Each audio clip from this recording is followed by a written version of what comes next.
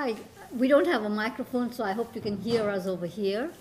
Uh, Good morning, I'm Sue Racanelli, President of the League of Women Voters of Vermont. I Want to welcome you to what is non-citizen voting, a presentation that has been brought to you by the League of Women Voters and our partners, Central Vermont Refugee Action Committee and First Unitarian Universalist Society of Montpelier Racial Justice Team our host, Kellogg Hubbard Library, and Orca Media. The League of Women Voters is a nonpartisan organization. Our mission is to empower voters and defend democracy. The right of non citizens to vote in the United States has historically been a contentious one. Our purpose in hosting this program is for you to get an understanding of the history and facts about non citizen voting. The League does not have a position on non citizen voting, but in keeping with our mission, we advocate for voting rights and provide voter information. The League has a committee that has been studying non citizen voting.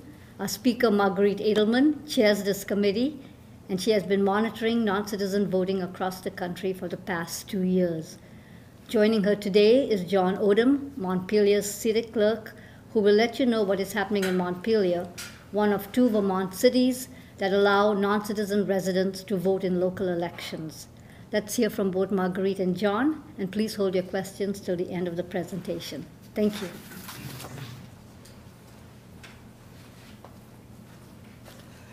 Um, I should begin by saying that I am not a lawyer and I am not a scholar, but as Sue pointed out, for the past two years, I have been um, getting every alert that I possibly can on non-citizen voting and getting as much information as I can on the topic and reading articles and books, etc. Um, I am a Winooski resident, and I think that's probably one of the reasons I got so interested in the topic was watching the process play out in my own hometown and seeing how people reacted and what was happening there. So today what I hope to do is kind of give you a broad general overview of where we are right now, give you specific details about Winooski and Montpelier.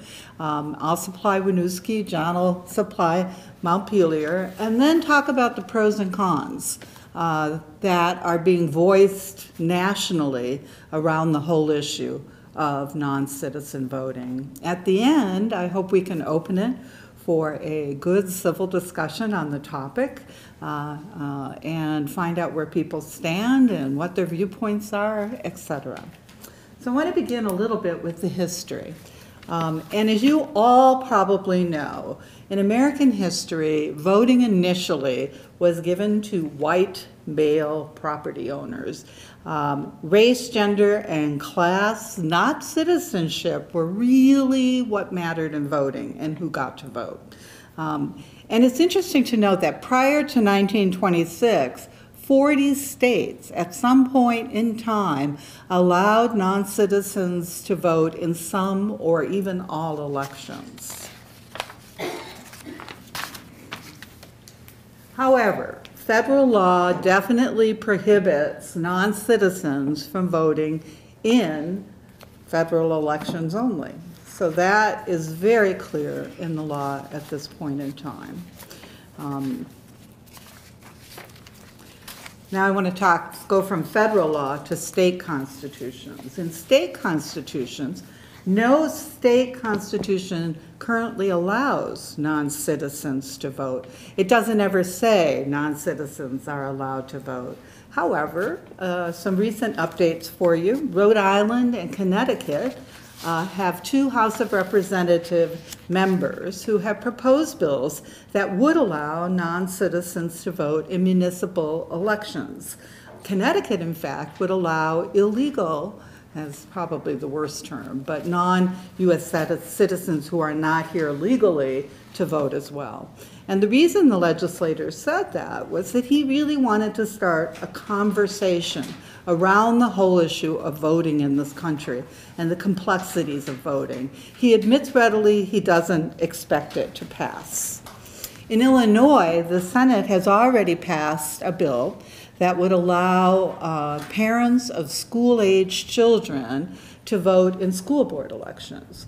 Um, So whether that ends up becoming a law in Illinois will be something that we can watch. It's not actually necessarily a constitutional change, but it allows parents who are not citizens to have a voice in their children's education. There are state constitutions that actually ban non-citizen voting. Um, and it's interesting, when we look at those seven states, five of those states were in the last three to four years. Louisiana, Ohio, Colorado, Florida, and Alabama are all within the last you know, three to four years for banning it. When the, when the topic became so controversial, voting became so controversial, and there were all the rumors about how many non-citizens had voted, uh, individuals who were here illegally. Two of the states, Arizona and North Dakota, have had legislation already in their constitution that uh, basically ban non-citizen voting. And right now, even more states are actually considering adding bans. Oh, wrong one.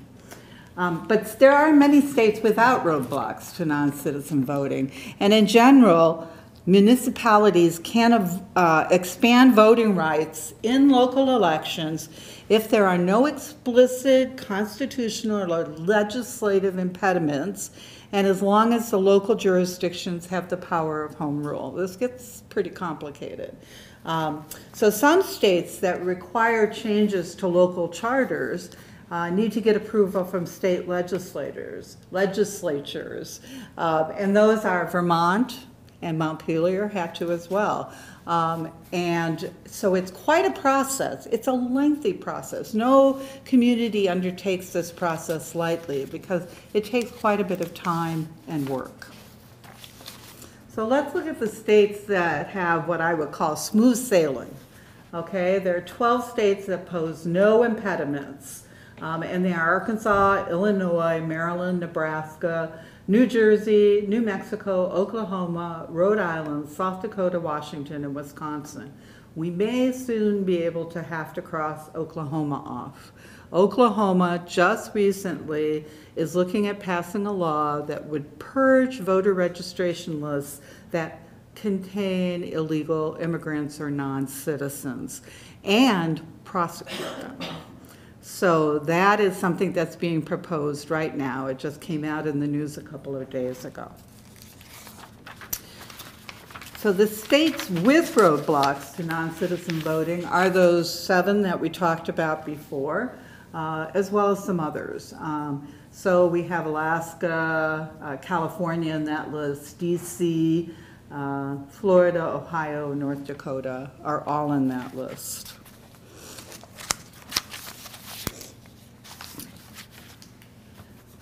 So where is non-citizen voting being considered? Well, actually, in many places across the country. Um, You'll see two places in Massachusetts, Boston and Wor, I can never say that, Worcester? Worcester. Worcester, okay, uh, in Massachusetts. Um, So they are being considered there. Interestingly enough, there are other cities in Massachusetts, Amherst and Cambridge, that have already passed uh, non-citizen voting, but the legislature has just let it sit there and done nothing with it. So they're a state where they need the legislative approval for it to become an actuality. Um, Chicago is considering it, Portland, Maine, uh, San Jose, California, Syracuse, New York, and Washington DC, which is actually already passed uh, through its own uh, channels, non-citizen voting uh, for those in Washington, and that's become a very hot topic. Uh, In other words, you know, there's people screaming, oh, you're going to allow all those Chinese diplomats to vote in Washington DC. So those are some of the things that you're hearing, some of the issues that are coming up. And there actually was passed by Congress, the House, a bill uh, trying to undo non-citizen voting in Washington DC because um, it has to go through the federal government to get non-citizen voting. But there are still a number of U.S. cities with non-citizen voting. 11 cities in Maryland. And interestingly enough, uh, Barnesville granted that right in 1918. Uh, Somerset in 1976. Takoma Park since 1993. So when you consider the history, those three cities, so for such a long time, there was actually no controversy until the last three or four years. It's become so controversial. Uh, two cities in Vermont, which you know, and a third, Burlington, will have on its town uh, meeting day uh, ballot this year a question about uh, what they are calling uh, all legal resident voting. And I will just tell you that the terminology for this, I use non-citizen because I think it's a little clearer. Uh, but the terminology varies across the country. It could be called so many different things, and we'll talk a little bit about that. Uh, San Francisco and Oakland both allow parents to vote in school board elections, but that has been contested. Fortunately, hasn't been stopped yet, but it is still under appeal. And New York City is also under appeal. Uh, so the, there's challenges to this across the country uh, that are being looked at. So non-citizen voting and running for office. Um, this is interesting because in some places, non-citizens can only vote in school elections, or they can only vote in city elections, or they can vote in both. Uh, and in some cities, non-citizens can run for the local city and or school board positions. Uh, and once again, that varies. Uh, we'll talk a little bit about the differences between Winooski and Montpelier as we get into that. So how do cities, and I'm going to use that as an example, come to the conclusion that they even want to consider non-citizen voting? And I think what they end up doing is kind of what I ended up doing, um, which is looking at uh, the immigration data for your communities and studying that. And what, what I found from the various sources that I've looked at is that 4.4% of residents are immigrants and 2% of immigrants are non-citizens. So that here in Vermont, that's approximately 12,000 people. Um, the top countries of origin truly surprise me, but not when I think about it. Canada is 20%. Uh, Nepal, 7%, Jamaica, 6 Philippines, 6 and Bosnia and Herzegovina, uh, 5%. Uh, this also surprised me a bit in terms of what I think of as stereotypes, and that is that more than 9 in 10, 92% of immigrants, reported that they spoke English very well, okay? And 50% of those immigrants had a college degree or more. Only 12% had less than a high school diploma. And Vermont, in general, only has, this was in uh, 2020, uh, 20 DACA recipients. It could be more, it could be less right now, but probably not a significant difference. So I'm going to turn it over to John now, um, and he can talk about the process of non-citizen voting in Montpelier uh, and then I'll talk about Winooski. Do you want the clicker or? No. Sorry. The bottom one. I'm not sure what this clicks. You don't have to point it. But I mean, literally, what am I clicking up there? Yeah. Um, yeah, I don't know what to click, so I won't click. Um, hi, yeah, I'm John Odum. I'm the city clerk here, and if I can take a moment of personal privilege, I love telling the story of how this started uh, here, um, because what happened in Montpelier sort of lit the flame for this entire wave that went through Winooski. Um, Nice. so about every year, or every year, I would have somebody, you never, not always the same person, but somebody come up to me and say, it was always their spouse, why can't my spouse vote? You know, my spouse is not a citizen. And my answer was always, I don't know what to tell you, they can't vote, they're not a citizen, I'm really sorry. Um, well, a few years ago, I was taking uh, a course through the University of uh, Minnesota to get an election administrator certificate. And that year, it was right after town meeting, I the same person come in as the previous year saying, why can't my spouse vote? And I said, I'm sorry, you can't. Well, about two weeks later, in the, the course, we had a module about non-citizen voting in the US. And I was, oh, okay, so I had to pick up the phone and call her back and say, I, I was wrong. Apparently, this is something that is done, so let's make it happen. Um, so we started the process of doing that. I set up a couple public meetings, and then the, very shortly thereafter, I get contacted by a Winooski um, city councilor who wanted me to go and speak before their city council about the issue. So I did, and it was an interesting conversation. But anyway, I feel like, I mean, this is going to happen eventually uh, because it has become a hot issue, and, and that's the way Vermonters are. We want to, you know, do the right thing.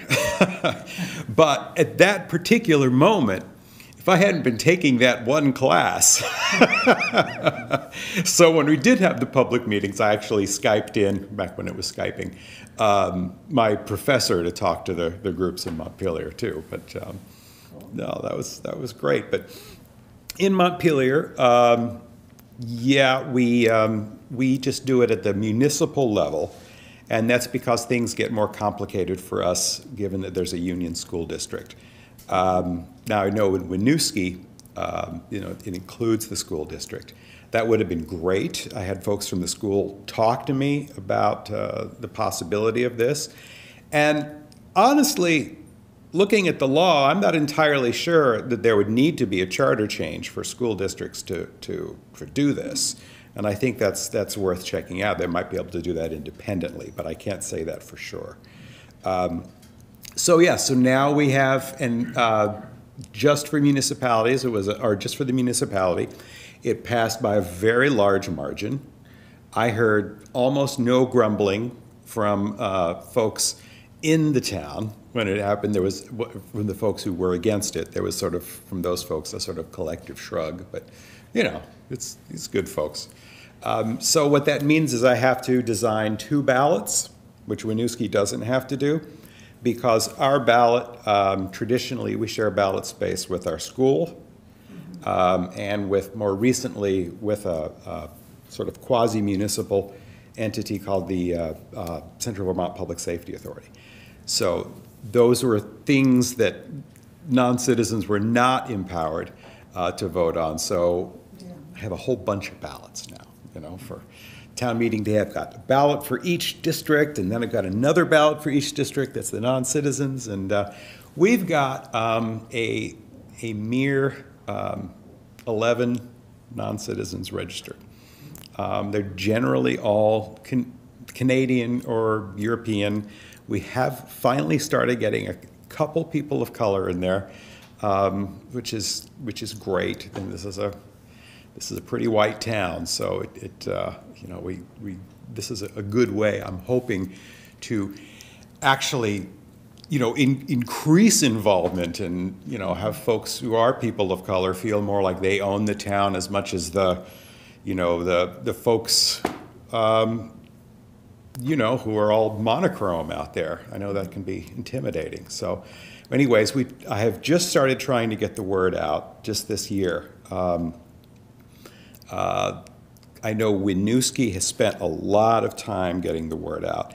And I went into this thinking I wanted to treat um, all voters the same. You know, that was the big pitch at the legislature. You know, I organized a lot of the, the, the lobbying that went on for this.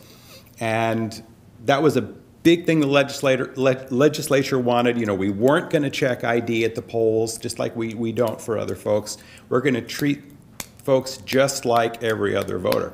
And I maybe I took that a little too far, so I took, you know, made no action to reach out to people. I'm like, there's another voter, but I started coming around to that because I've seen the good work that Winooski's done to do that. But you know, we do that. We have um, we've had ballots in, in different languages, and um, that's um, yeah, that's how it's gone for us. I don't know if there's any questions or. Did the city council have to vote for this and then refer that to the legislature? How does that process? Well, it was a charter change, um, and again, because we're, we're a Dillon's rule state, uh, which means essentially the towns are, are administrative districts of the state, really, uh, which is how we got around the, you know, the prohibition in the state constitution uh, for non-citizen voting. So the charter change process is either the city council can vote to approve it, um, or it can be done by petition. City council would have been ready to approve it, but I had talked to the citizen contact I made, and I talked to them, and I said, you know, this could be really controversial. I think you should get a, a public wave going. I think, I don't think it'll be a big problem, and, you know, I can help to the extent I can, which is limited, but I think it would be powerful and meaningful, so it wouldn't people just wouldn't be pointing fingers at that crazy city council to see, look, the community wants this. So it was not hard to get those, those signatures, and then that's what put it on the ballot. so.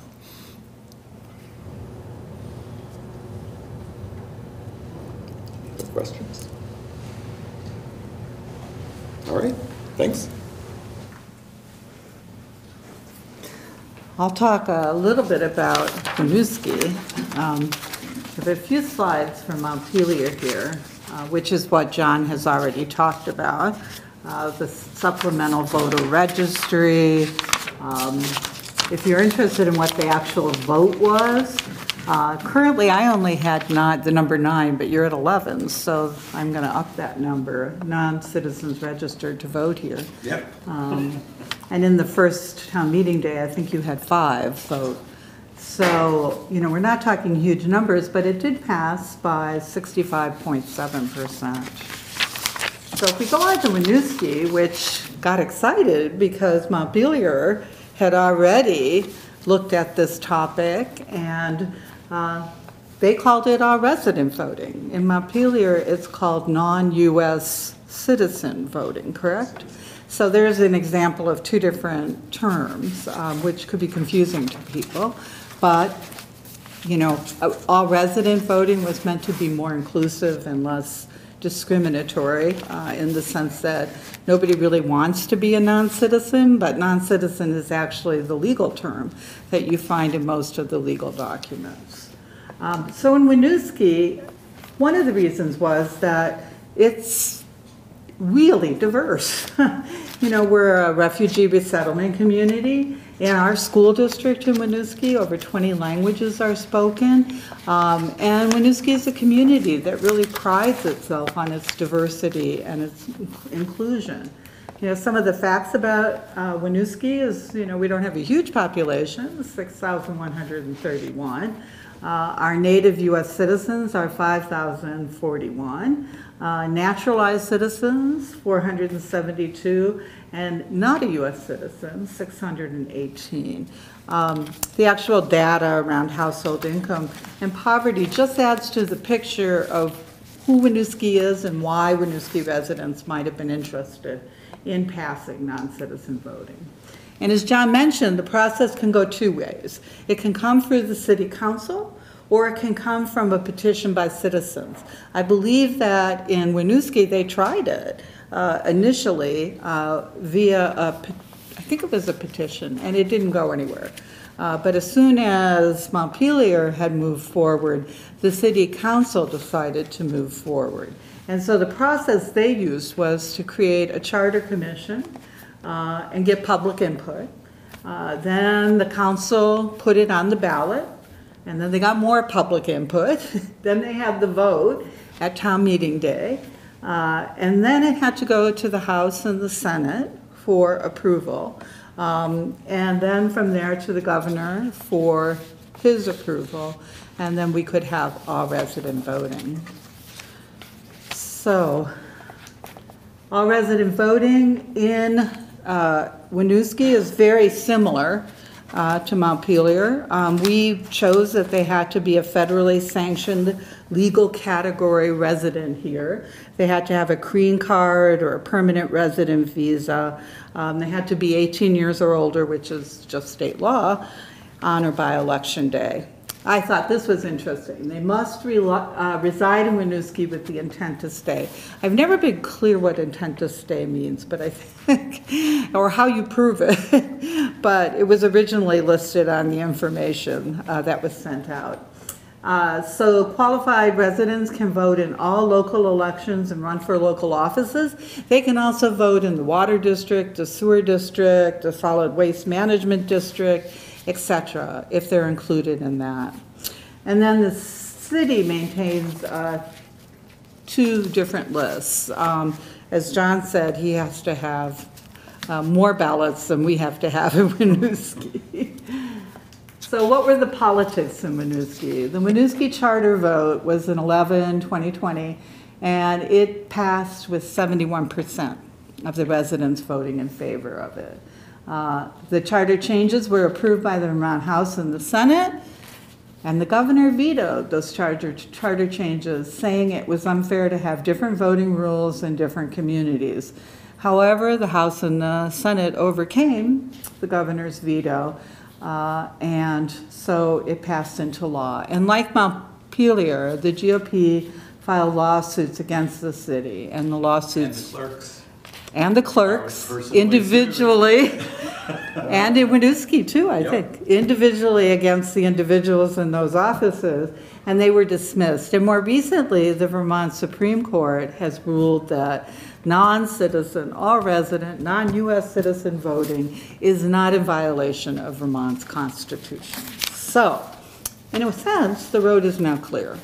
Um, You know, when you have the Supreme Court, you know, on your side, it's much more, it's much easier, I think, for other communities to consider going forward.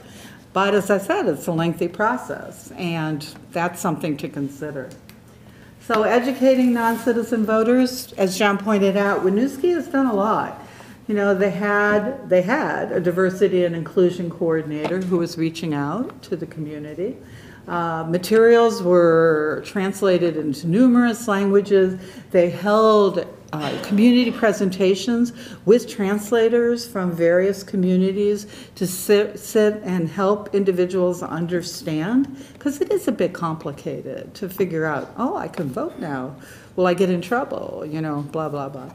Um, and they made educational uh, videos and they did outreach to immigrant associations.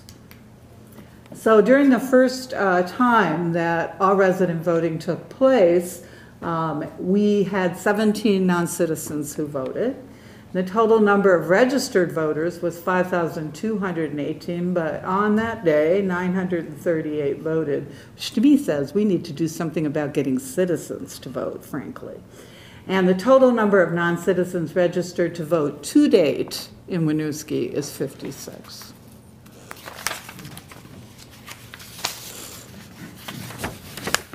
So we're going to go over together, John and I. We're just going to read these because I think this will form a great discussion. Um, the arguments against and for non-citizen voting. And I've collected these from multiple sources. Um, You know, we uh, had a Boulder, Colorado league uh, that did a lot of work on non-citizen voting, and we took a lot of their materials uh, and their studies and looked at those. Um, So these are some of the arguments that you hear. Uh, Non-citizens will have to self-identify, which could put them at risk for immigration action. I'm trying to take the next one. Just read it there. Um, The, the county clerk becomes a keeper of immigration info, which could make it difficult if the federal government were to ask for the info and that resulted in deportations. Mm-hmm. argument. Citizenship is a privilege, and this is actually a main argument. This is like the argument that you hear. Citizenship is a privilege, and it comes with the opportunities of voting, which shouldn't be given to non-citizens. Voting is a right for citizens and many non-citizens eligible for citizenship are motivated to apply for citizenship in order to vote. Okay. Issues faced by non-citizens are different from those of citizens and are more appropriately addressed by citizens. And if you have questions about that, I'll explain that one later. Non-citizen voting might encourage those who are here illegally to register as a legal non-citizen resident and vote. Non-citizen residents who may not speak English or be able to read could have their votes easily manipulated by others. Large number of non-citizen residents voting could change the outcome of an election. Non-citizens may move to communities that allow non-citizen voting, changing the culture and the nature of that community. Procedures for non-citizen voting cost the community money, including lawsuits, translations, interpreters, processing separate voter registration forms, reconfiguring web pages, and more. So then we'll briefly present the arguments for non-citizen voting. Um, Non-citizens own property, pay taxes, contribute to our local economy, and should have a voice in local government. Basically, this is no taxation without representation. Non-citizens are affected by policies and actions of municipal and county governments the same as citizens. Non-citizen school children are affected by policies and actions of the school district. The citizenship process is costly, takes many years, and has an application uh, backlog of over 15 months. And we could talk more about that if you guys have questions about it. Um, Our local economies depend on immigrant and refugee labor, and workers should have a say regardless of citizenship. Non-citizen participation benefits all community members. Non-citizen voting was common at the local, state, and even federal levels in the U.S.'s first 150 years. In some counties, residency, not citizenship, is seen as the measure of being a legitimate stakeholder in the community. Voting rights are part of the social contract. A just government rests on the consent of the governed. The vote helps guard against discrimination and bias, often a consequence of political exclusion. The majority of Vermont's immigrants are educated and speak English. Voting participation is correlated to the voting rate of one's parents. Since obtaining citizenship takes many years, the sooner parents are allowed to vote, the more likely their children will later become voting adults. I've um, listened to a number of debates, um, and there are more and more that are out there on YouTube and in other places. And these are uh, questions that I still have, like where do you draw the line on some of these things? And so I'll just share them with you. Um, pregnant foreigners, uh, I don't know, there were a series of articles about pregnant women from Russia coming to Florida and staying in hotels and condos three months before their due date. Uh, so they travel to the US on a visa and they have their baby here. And then the child is granted US citizenship by what our law calls birthright. Um, is this really fair? Uh, legal non-residents are, I didn't know this, legal non-residents are subject to selective service. So if we had a war and we reinstated the draft, they could be drafted. Um, why can't they vote if they can give their life for the country they reside or live in? A non-citizen can serve in the U.S. military, but U.S. citizenship is not guaranteed to them for doing so. Should this be so? Uh, Many states don't have meaningful residency requirements for citi- citizens to vote. This is something else I just learned. 23 states have no residency requirements, none. And most others have around 30 days. Uh, And the last one, the U.S. allows citizens to hold multiple passports, as do many other countries. Should they be allowed to vote if they are residing in another country? And my daughter is an example of that. She's a Canadian citizen, and she has both a Canadian and a U.S. passport. And I'm not sure, but I think she might have voted in both Canadian elections and U.S. elections. So that's an interesting question. Um, Here's a couple more that I didn't have time to put up there. But we actually take away the voting rights of some U.S. citizens. Not here in Vermont, but felons in many states and people in prisons are not allowed to vote. We take away their voting rights. Um, And we take away the voting rights in some states of people who haven't voted in five or 10 years. So if they're on the voter registration list, we just purge their name. Um, and when we do the census, undocumented uh, individuals who are actually held in detention centers are counted in the census towards the money that we distribute and the number of legislators and all sorts of formulas uh, that we distribute um, that determine so much of our government. We do, we actually do count them. So these are just additional questions to think about in terms of the complexity of non-citizen voting. Um, And as Sue said in the beginning, we're really willing to work with communities that are interested in learning more, that um, want to register voters, either citizens or non-citizens, which is something that we do on a regular basis. Um, And we have some information on the table. I put together a resource sheet with um, websites and other information on this topic, if you find it interesting, if there's more information you want on it. Um, So I would open it up for discussion and questions now, because I think it's interesting.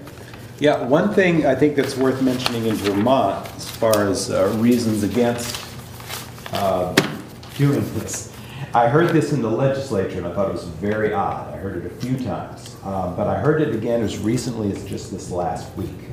And My response probably was not too uh, even tempered because I was sort of feeling bad that day. But the equating it with this idea that business owners should be able to vote, or landowners rather, should be able to vote in towns where they own land, which is. I've heard it too. I mean, you think about it, they have nothing in common. I mean, you could talk about non-citizen voting and uh, non-resident voting is what they're basically talking about, which is a, a whole different ballgame. How it was getting put together in the same argument, I'm not sure.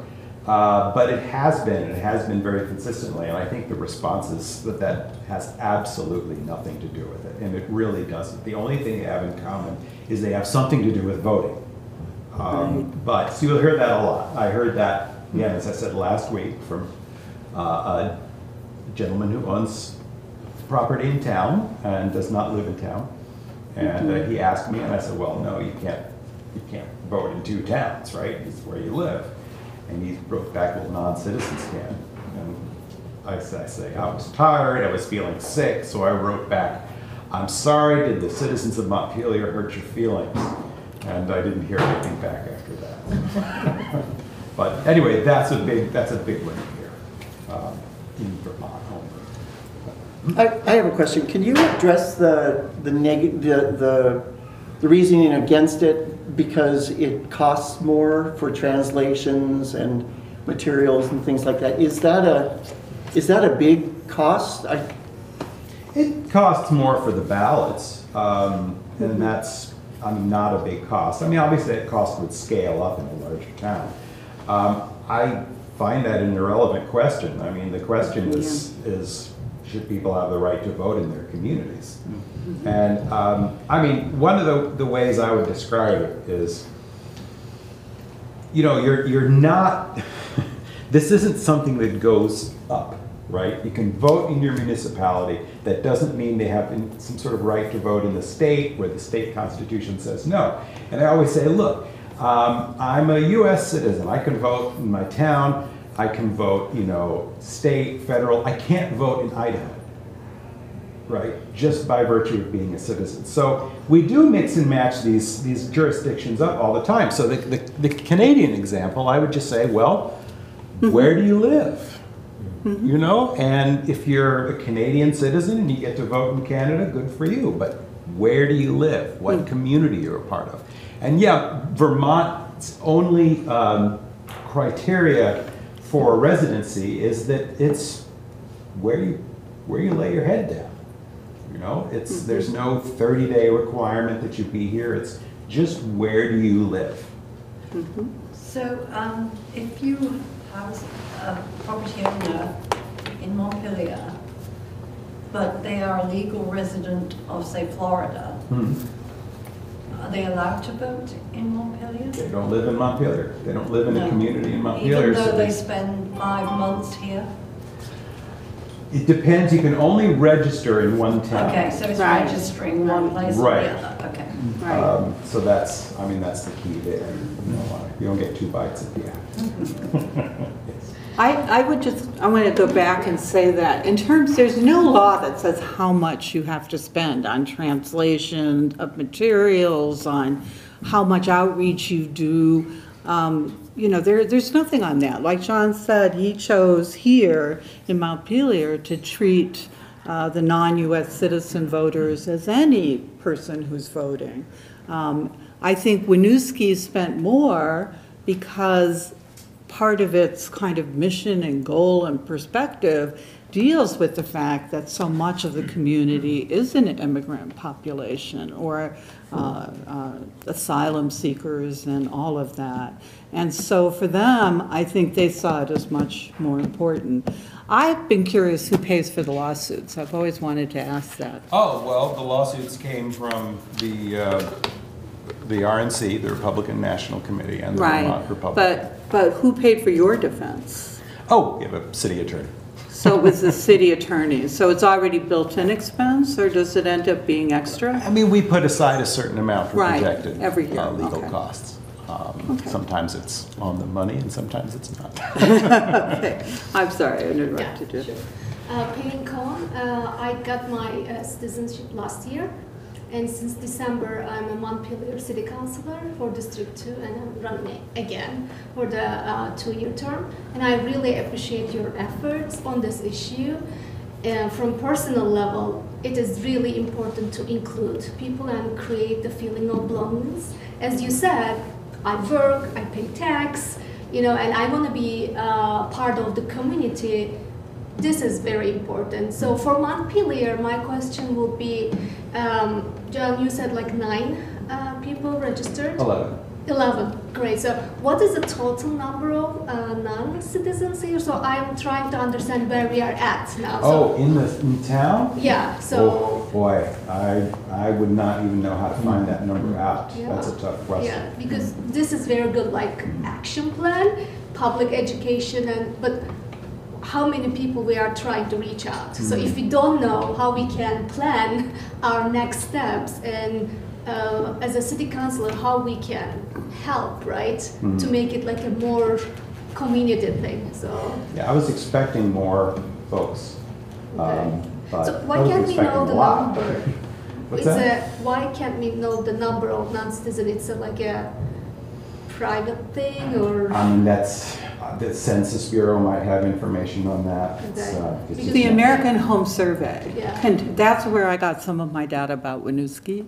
So the American Home Survey actually uh, looks at that. What's harder to figure out is if they're of voting age. So you might find the number who are uh, non-citizens, but sometimes you can't tell the exact age. Because we don't know the, if we don't know the statistics, Right. how we can uh, create a plan, right? So it is like, okay, we are just sending everything to the universe. and- Yeah, at this point, Yeah, that's, okay. that's In- all. And in some communities, like um, in San Francisco, uh, for example, there's a whole parent, a non-citizen parent group that works extremely hard to educate other non-citizens who are involved in the schools and how to vote. So sometimes it's taken leadership by um, some of the uh, immigrant associations or some of the groups in that community who really want to see their non-citizens vote. I mean, it was very controversial what was happening in uh, the school boards out in uh, California. And so there were a huge number of non-citizens voting in that. Thank you. I thought there was one reference on one of the slides to, um, you have to be, have to have federal status in order to become a non-citizen voter in Vermont. I don't know if that was really true, that I read it accurately, but CVRAN, one of the organizations involved in this, as you probably know, they, they sponsor many, many families from Russia, Africa, uh, South America, Tunisia, all over. And the, the numbers are in Afghanistan, Ukraine, I think even. So the numbers are going up. But none of those people, I think, have green cards. And I thought I saw that on the list, that you have to have a federal status. Um, Asylum seekers can, I believe, have a federal status, from what I understand.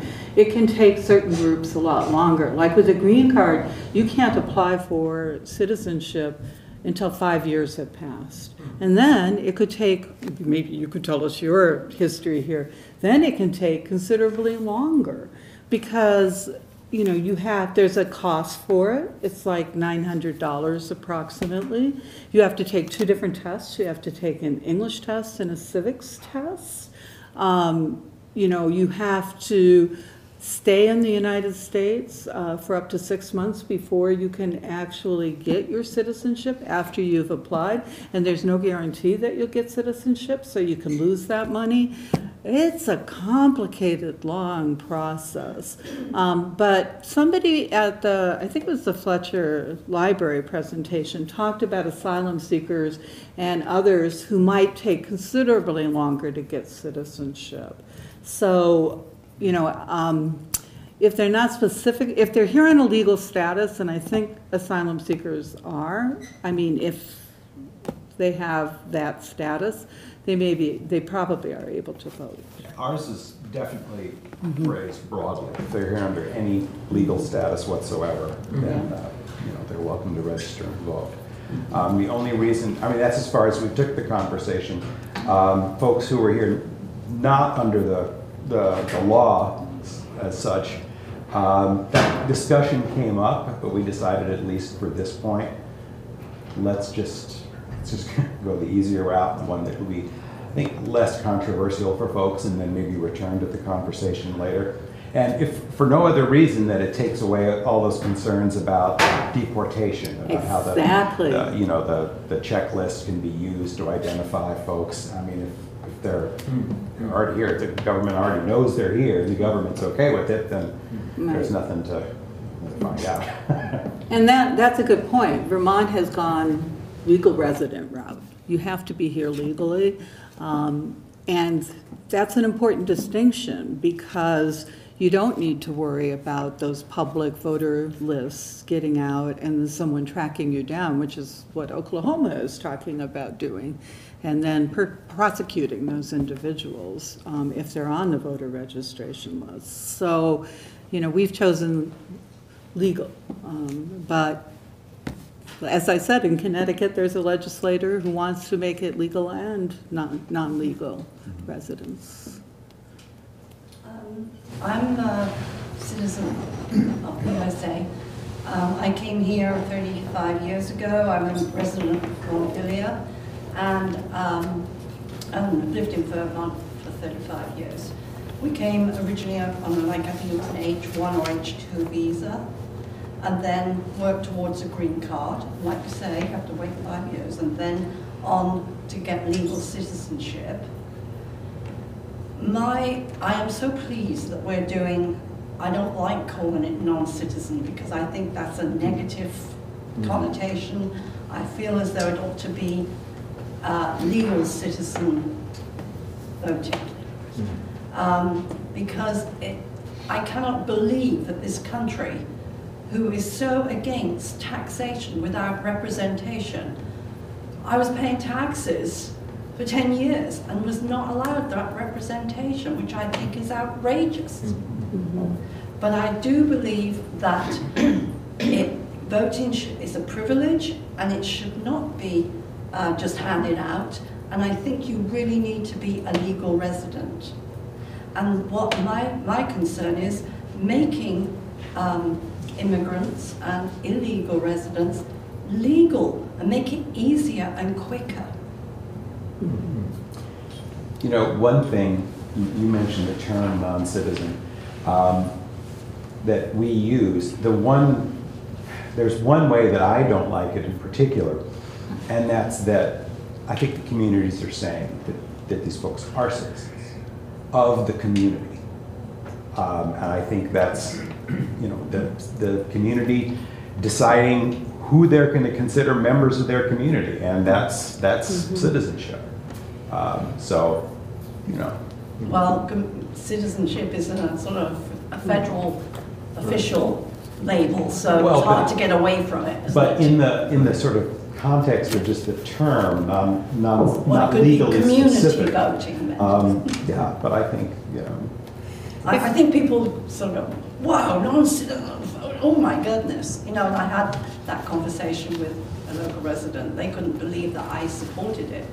Hmm. And then when I explained, they, they understood. Well, and that's why I think the education is so important because, and the terminology, because we've heard so much about illegal individuals voting over the past four or five years. And so when these proposals come up from communities for non-citizen voting, people immediately assume we're talking about illegal individuals or individuals who aren't here legally.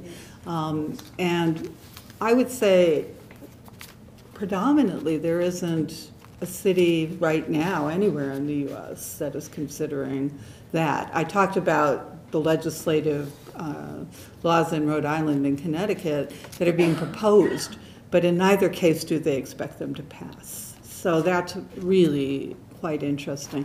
And we should consider, if you study voting around the world, it's very different. In Australia, you get fined if you're a citizen and you don't vote.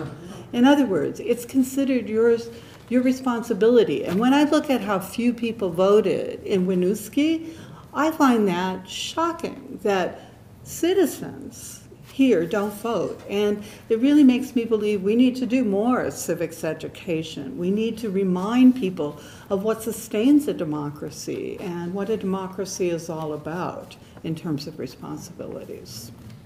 So, John, is there any uh, chance uh, Montpelier can use different uh, vocabulary instead of non-citizen, like Winooski is doing like all residents? Oh, Or it's, sure. okay. I mean, So all, all residents might open the, the question of, again, folks who are not here under legal status. But, um, oh, we can always change. Is, is it too much of a mouthful to say all legal residents? That's what, that's what Burlington's saying. Oh. They're using Yeah. all legal resident voting. Yeah, like something Um, more positive. Right, Mm-hmm. right. So that's the distinction they're making in terminology. Other questions? One thing I, I want to mention is, um, you know, the, the pushback and the controversy. I want to make sure I put it in its context here. Um, it's not so bad in Vermont. When uh, No, we, it's not. uh, we got this passed, you know, I heard from two people in Montpelier, well, except for the two who sued me under the lawsuit there too. Um, I just forget them. Um, I mean, one of them was the one I just heard from last week. Other than that, the only folks in, um, in Vermont I heard from was one person called me from Rutland uh, who didn't like it. Other than that, the only folks I heard from were from out of state. And it wasn't even that many. So, uh, you know, I think there's just a more res- respect for the process here. Uh, if, um, You know, this is what citizens of a community, how they want to run their own affairs, you, you have less, you have fewer people that are going to come crashing down on their heads over the state. And, and I like to think about the evolution of voting, too. I mean, um, our organization, the League, uh, uh, celebrated the centennial of women's suffrage in 2020. Um, And then when you look at the history of women's suffrage, you realize it wasn't just women who weren't allowed to vote, it was Native Americans who were the original citizens of this country. Um, So we, we're evolving and hopefully becoming more consistent and more um, inclusive and more um, civic-minded and engaged. And that's kind of what I like to think about in terms of our history, that we can always improve and do better and uh, make things easier. Go ahead. How far along is Burlington? I'm sorry, I didn't- How far along is Burlington? Um, they vote on town meeting day this March. Um, it's very interesting. I don't think this time it's going to be controversial. It's been turned down the last two times. I could be wrong. I'm just making a prediction here. They seem more concerned right now about policing and housing. Those are their two really hot topics in Burlington. And we did the same presentation there and we didn't have as many people. So I was shocked because I thought we would in Burlington, given that. But we're fortunate that we have Orca, and in Burlington, we had Town Meeting TV, and that public access will have this presentation on the air for people to listen to and to understand the complexity and the pros and cons of the topic, and to take a deeper look into themselves on where they stand on the issue. Throw in one thing I want to mention, and I don't want to pick on you, but the idea of voting is a privilege. Um, That is not something that I agree with. I think voting is right. And privilege is something that we would be, you know, granting essentially. Um, But if it's a right, we're getting out of their way. Right? You know, it's, it- I think it it comes with living in your community. So I, that's a distinction that I like to make. And it wasn't actually originally used as a privilege. Voting was used as a lure. In Colorado, voting was used as a lure to get people to come and to become part of that new state. They didn't have to be citizens at all. They really just wanted them to come and get involved. Has the pushback been political? Oh, um, Do you see has it been?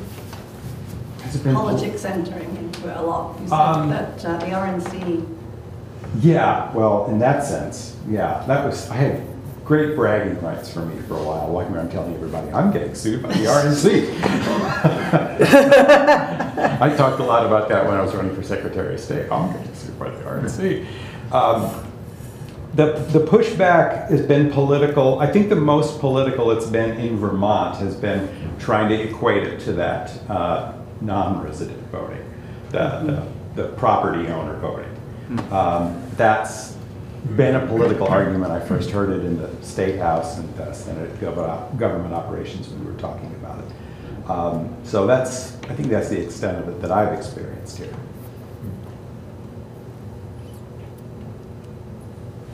Well, if that's it, I want to thank you all for coming. It's really been a good discussion, and I think um, hopefully when it's on the air, more people will see it and give some thought to these questions, these issues, and, you know, about their own community. It can happen in any community in Vermont at this point, if there's the will and the the sense that it's right for that community. So, thank you all for coming.